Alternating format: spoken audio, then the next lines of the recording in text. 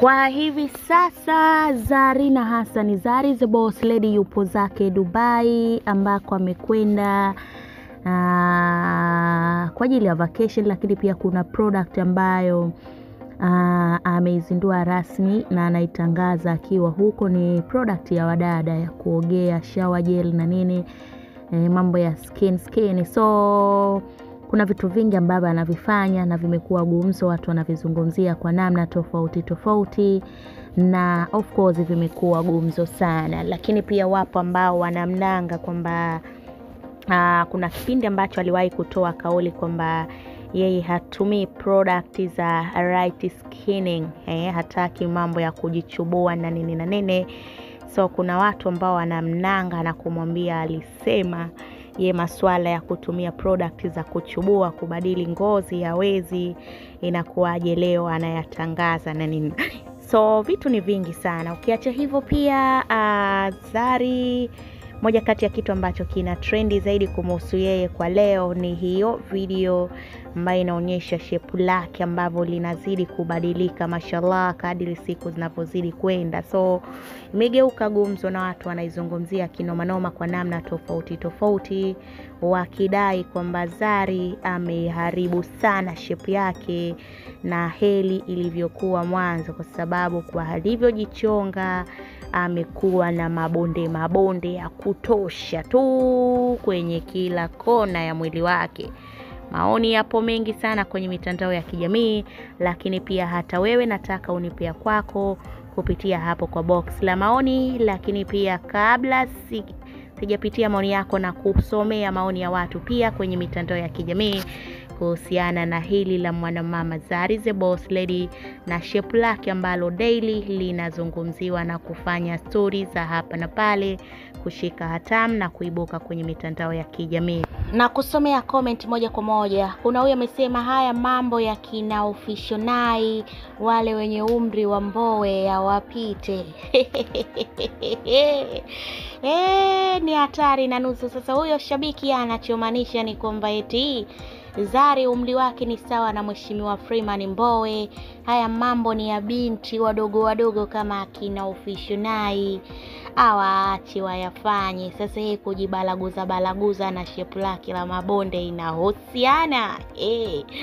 Kuna huyu mwingine anasema shepu ina mabonde mabonde kama sanamu la mijerini Haki ya Mungu, watu wana maneno yananichekesha hatari na nusu. Eti huyu anadai katuni la micherini limekuwa kwa Zari. Unasema ulishawahi kuona ile losheni ya jambo kubwa?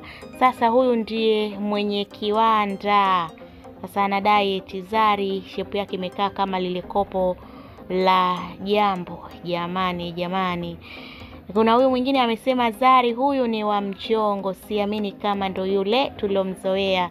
Kuna mwingine sema da, huyu mama amejiharibu jamani, hivi inawezekana kurudi kama mwanzo kweli?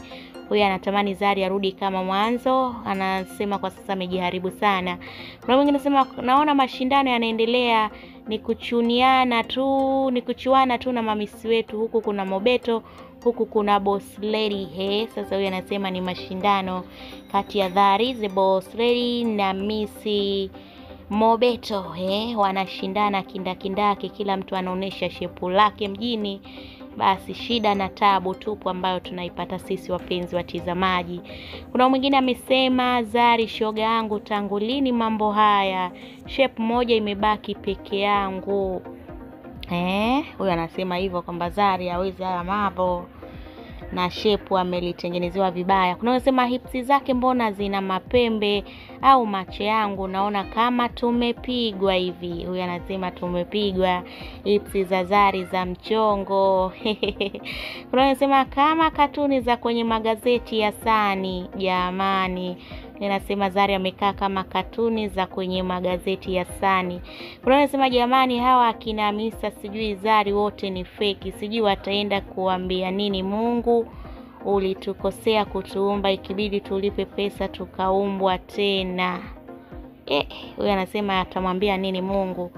Atamwambia Mungu ulitukosea, ikabidi tulipe pesa ili tuumbwe tena na binadamu wenzetu. Jamani, watu wana makomenti jamani, mengi mno. Kuna mwingine anasema drama queen huyu hawezi kuziacha drama, na haya ndo maisha alochagua kuishi, hata tufanye nini hawezi kubadilika, na kadri tunavyomposti na kumzungumzia ndivyo tunampa kiki. Ndio maana muda mwingine anatuchamba makusudi ili tumwanike na aendelee kupata kiki mjini. Hehe.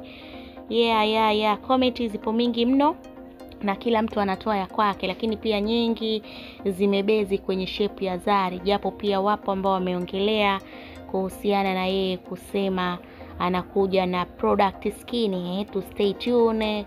Aa, kuna product skin ambayo ataitangaza rasmi muda si mrefu, lakini pia watu wanahoji yeye huyu huyu, si ndo alisema masuala ya mchubuko mchubuko hayahusiani imekuwaje ghafla ghafla? Wengine wanakwenda vailo na kumhusisha Hamisa Mobeto cause Hamisa saizi unajua ni mrimbwende ambaye ana present White Nasias uh, ma, ma, marosheni ambayo yanatengenezwa huko Marekani na amelamba dili la kuwa balozi wao. Tumeona akiposti sana kwenye ukurasa wake wa Instagram, so anasema Zari pia alitamani hilo na ametafuta eh, kampuni la mchongo ili tu na yeye aanze kuwa compared na Hamisa Mobeto. Of course uhasimu wao ni wa muda, so kila anachofanya Zari lazima watu wakijaribu kukilinganisha na Hamisa Mobeto, lakini pia Hamisa akifanya wanamlinganisha na Zari.